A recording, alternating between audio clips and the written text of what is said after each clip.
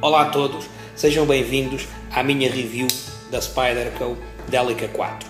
O 4 quer dizer que esta é a quarta versão do modelo Delica que é fabricado há mais de 20 anos e que, a par da sua irmã mais velha, a Spyderco Endura, é, é um dos modelos com maior sucesso comercial da Spyderco. Arrisco-me a dizer que a Delica é uma das navalhas de alta qualidade com maior sucesso comercial a nível mundial. Filosofia de uso. É uma utilitária, serve para utilizar no dia a dia. Devido às suas dimensões pequenas, é muito, muito boa a realizar pequenas tarefas de precisão. Dimensões e peso. Uh, comprimento total 18,1 cm, comprimento fechada 10,8 cm, a lâmina mede 7,3 cm e tem uma espessura de 2,5 mm. Tem um Spidey Hole de dimensões relativamente pequenas quando comparadas com algumas das suas concorrentes diretas dentro da própria marca. Eh, este Spidey Hole tem 13 mm de diâmetro, aquilo que eu considero ideal eh, serão os 14 mm de diâmetro. A nível de peso, é um peso pluma, como podem ver, eh, pesa apenas 71 gramas. Ainda a nível de dimensões e peso, quero dizer-vos que classifico os canivetes em três grandes categorias de tamanho com base no tamanho da lâmina. Os canivetes pequenos, médios e grandes. Os canivetes pequenos uh, têm uma lâmina com tamanho inferior a 8 cm. Os canivetes uh, de dimensões médias têm uma lâmina com tamanho entre 8 e 9 cm e os canivetes de grandes dimensões têm uma lâmina com tamanho superior a 9 cm e inferior aos 10 cm máximos permitidos por lei, a partir dos quais a lei portuguesa já os considera como armas brancas e já impede ou já os torna ilegais para uma utilização no dia a dia. Esta Spyderco Delica 4 está claramente na categoria de canivetes pequenos. Aço e lâmina. O aço é o VG10. Vamos ver se consigo focar.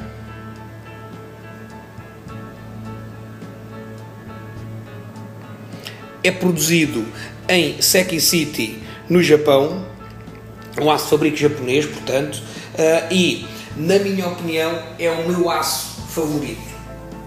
Uh, é o meu aço favorito porque retém o fio durante tempo suficiente, porque é muito resistente à ferrugem, é, é mais resistente à ferrugem que o S30V, por exemplo, que o S35VN, uh, entre muitos outros aços concorrentes, e principalmente aquilo que, que mais me faz gostar dele é o facto de ser muito fácil de afiar.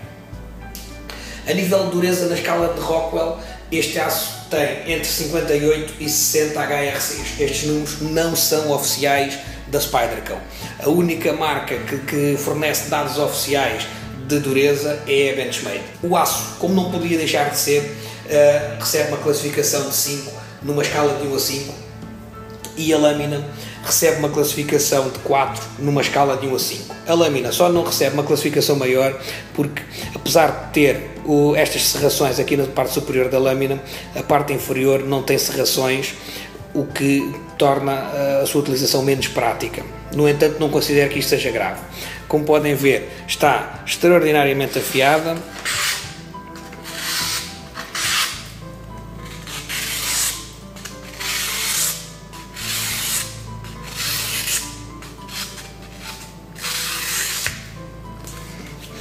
A lâmina corta pelo na perfeição, sem qualquer esforço. Vamos tentar demonstrar isto aqui, se conseguirmos focar.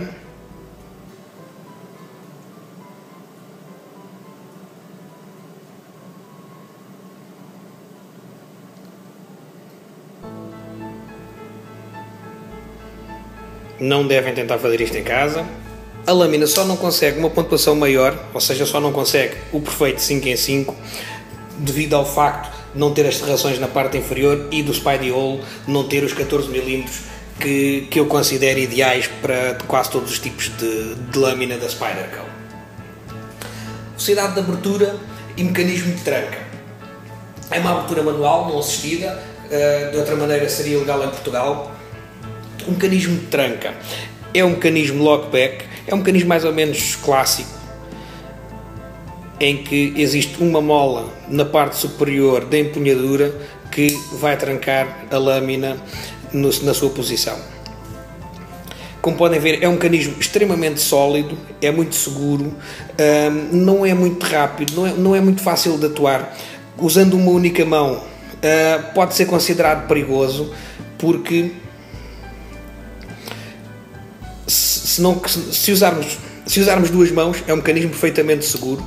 Os nossos dedos nunca estão no caminho da lâmina.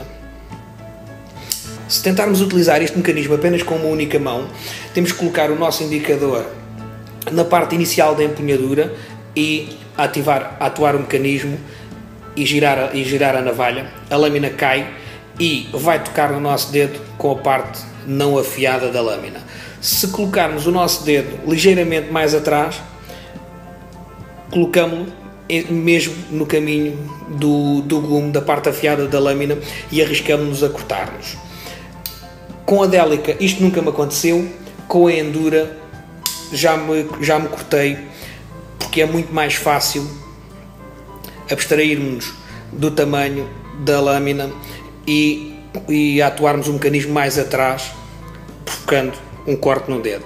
Portanto, este mecanismo é muito seguro para uma utilização com ambas as mãos, é pouco seguro para uma utilização apenas com uma única mão.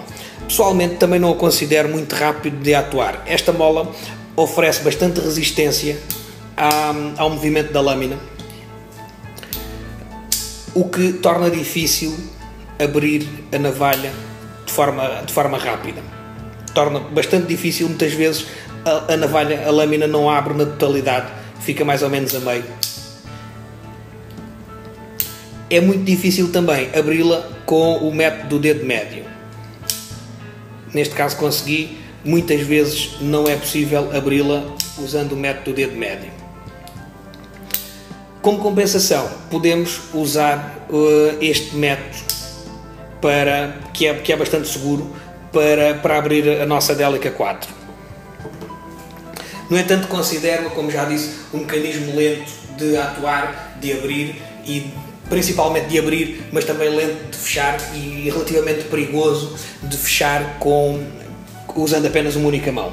Em comparação, um mecanismo que eu não gosto, que é o mecanismo de, de liner lock, é muito mais rápido de abrir, funciona, o, a abertura com o dedo médio funciona na perfeição, sempre, uh, e é muito mais rápido de, de abrir mesmo com o polegar em qualquer situação. É mais perigoso de fechar e este é sempre perigoso de fechar porque o nosso dedo está sempre no caminho da lâmina. O mecanismo de, de tranca recebe 3 numa escala de 1 a 5, recebe 3 por ser lento e recebe 3 por não ser muito seguro usando apenas uma única mão.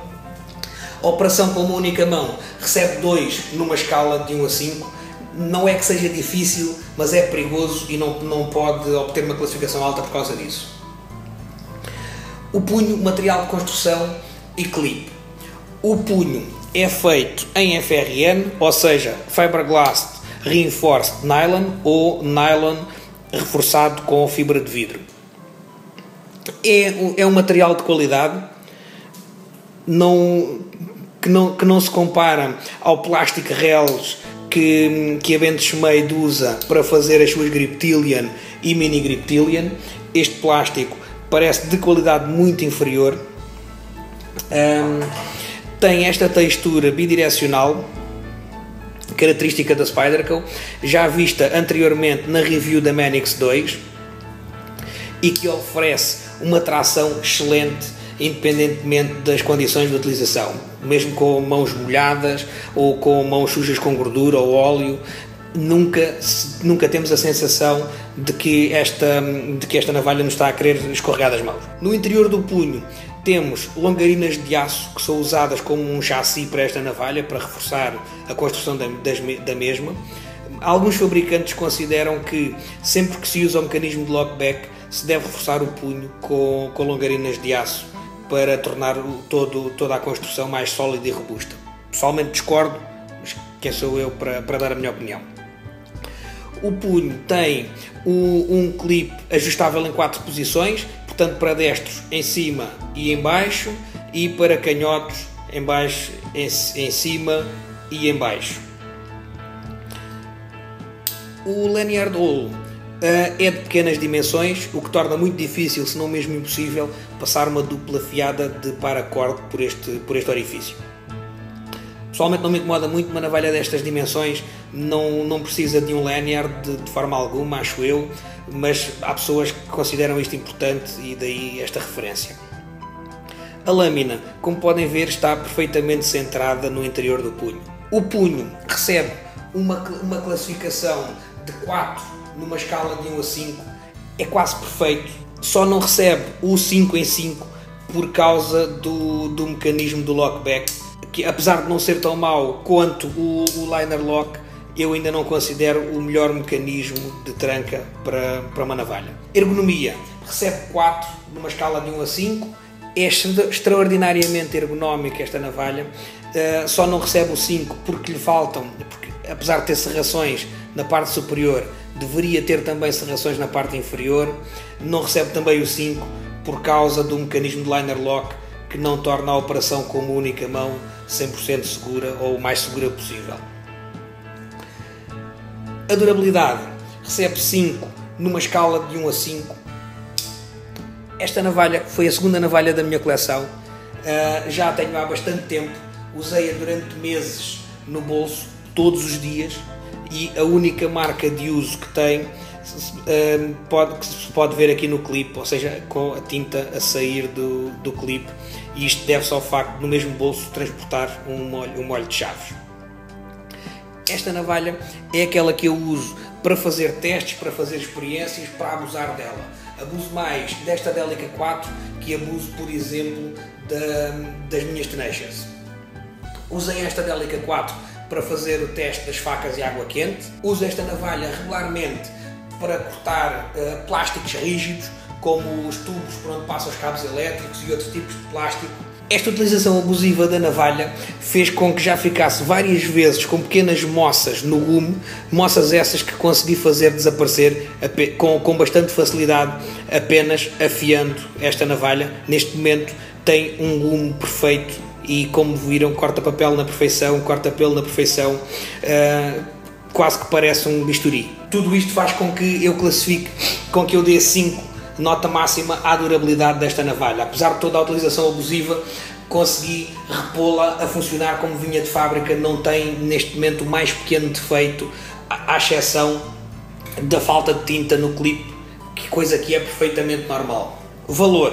O valor recebe 4 numa escala de 1 a 5, porque eu acho que a relação qualidade-preço desta Delica 4 é muito, muito boa. Não é perfeita, mas é muito, muito boa. Um, conseguimos um punho feito em material de alta qualidade, com um excelente design, usando um aço de grande qualidade, o meu aço favorito, não necessariamente o melhor aço do mundo, mas o meu aço favorito quando aplicado à construção de, de navalhas ou de canivetes.